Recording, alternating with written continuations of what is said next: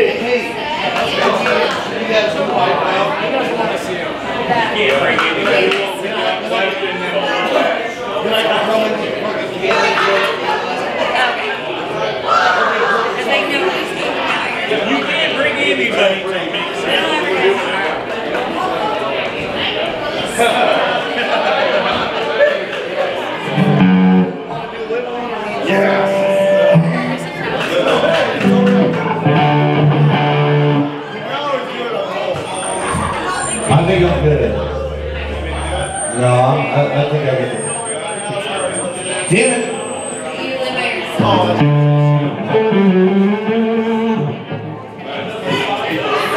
Alright, uh, here we go. This is another original song of ours. It's called Live On.